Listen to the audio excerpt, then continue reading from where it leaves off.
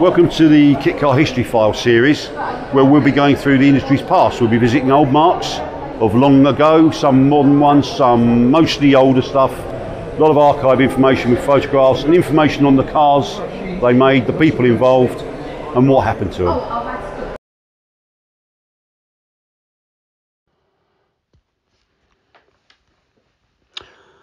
Hi, my name's Steve Hole, editor of TKC Mag and TotalKitCar.com, and welcome to another episode of Total Kit Car History File series. Um, welcome if you're new around here or if you're old around here. Equally welcome wherever you are in the world, whatever time of the day it is when you're listening to this. Hope it puts a little smile on your face and gives you a little bit of information on a, a kit car from yesteryear. Uh, this episode, we're going to look at. Um, a, a lovely little thing. Well, there are two versions or three versions of it actually. Um, well thought of in time, in its time. A quite a well, very clever idea. Um, probably 30, hmm, getting on for 30, 25 years since the last one was sold, perhaps. Uh, but anyway, the car in question is the Minari project, very Italian sounding name, um, rather apt given the um, donor vehicles that they used, donor vehicles they used. Company was set up and run by two guys, two nice guys, Sean Prendergast and Andrew Borroman, who were graduates from Hatfield Polytechnic um, in maybe 87, 1987, something like that.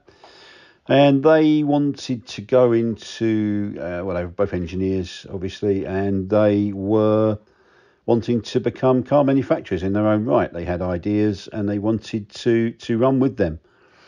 Set up a base, a little HQ in Sleaford, Slayford, S L E I G H F O R D in Staffordshire. Forgive me if I've got that uh, pronunciation incorrect. Their actually, their first project in 1988 was um, they took over a car we've we've covered here in a previous episode a lovely little MCA coupe, Fiat uh, 126 based two seater, um, the brainchild of Aurelio Bezzi, and um, taken to production by Mike Rutherford of Mako Fiberglass in Chichester. If you'd listened to the Mini Gem history file, we which could have preceded this one, depending on the order we're running them in, and I mentioned for newcomers that GRP fiberglass and glass fiber were one and the same thing pretty much. Um, and I mentioned that fiberglass was a trademarked word and we try and avoid it.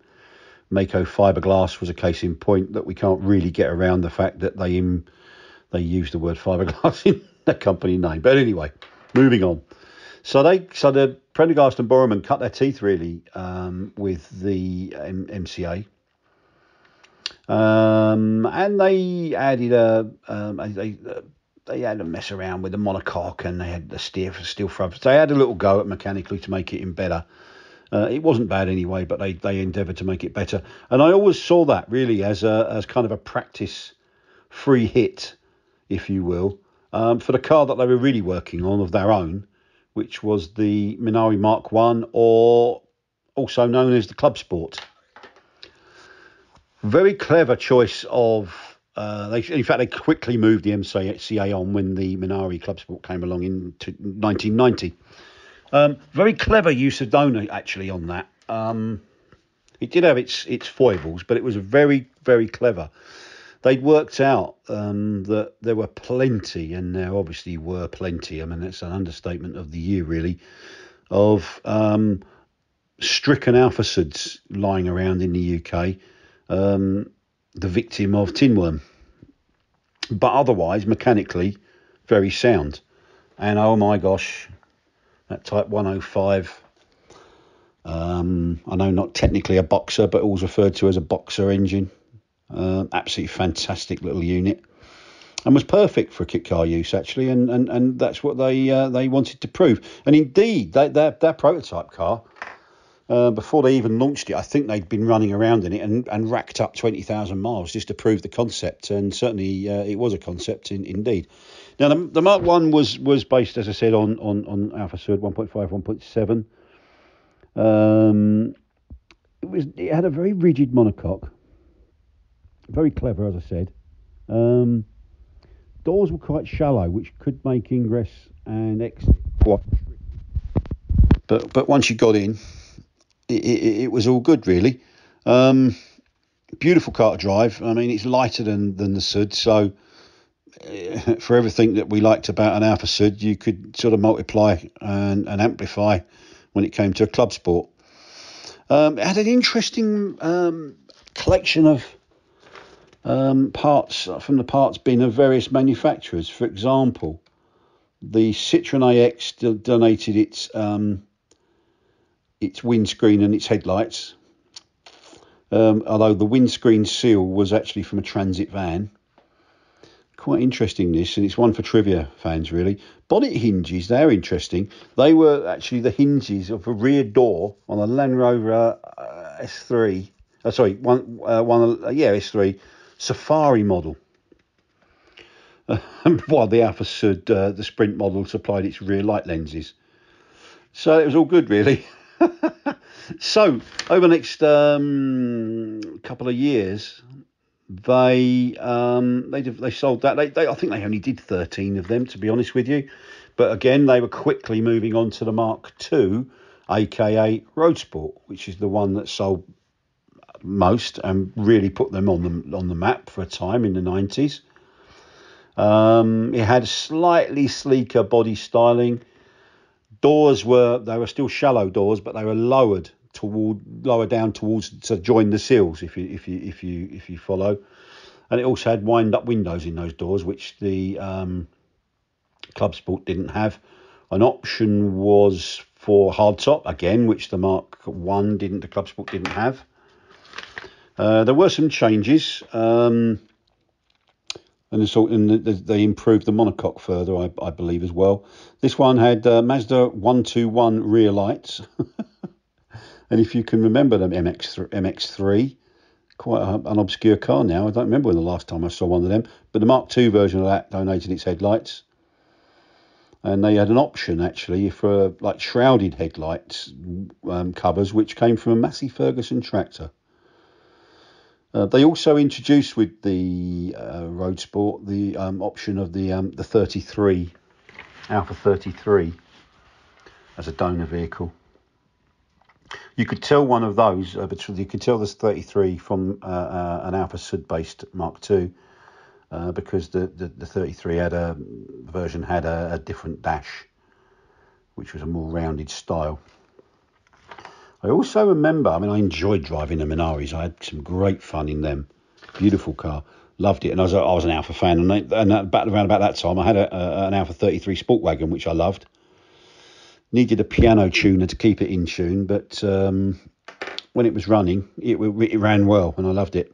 I really loved that car. Um, so I was always a fan.